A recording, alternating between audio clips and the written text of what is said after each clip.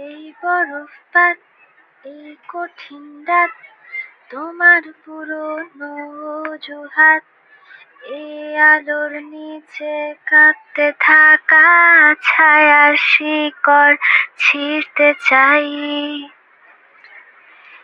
এই উল্কাপাত এই বিশ্রী রাত, আচমকা এই গোপনাতাত সব ধ্বংস হওয়ার আগেই আমি তোমার চোখে ভিজতে চাই।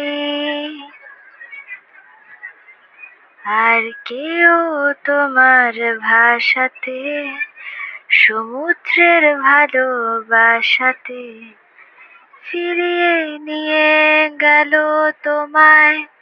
আহত ঝিনুক সৈকতে